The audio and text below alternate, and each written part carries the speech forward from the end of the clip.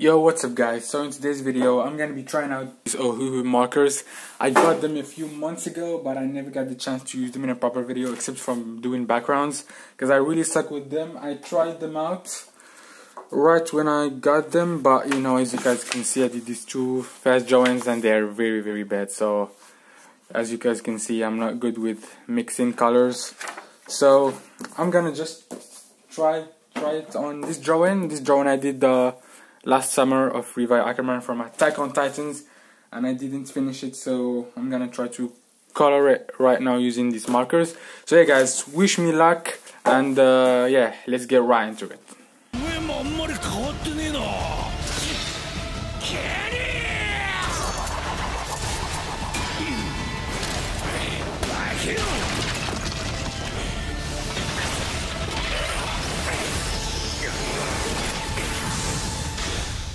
愛してよ。私を抱いてよ。ねそばにおいでよ。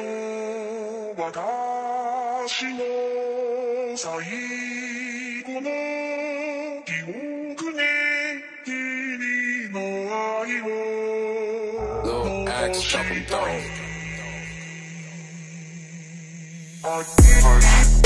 Bye.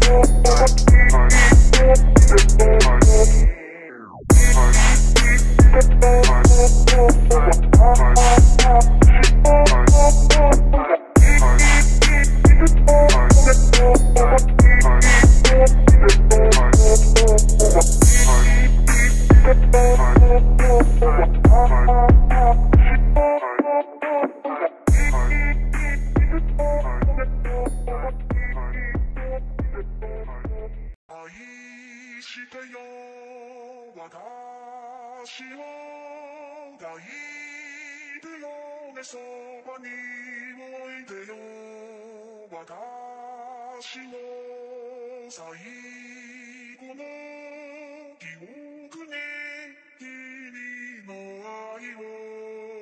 残したい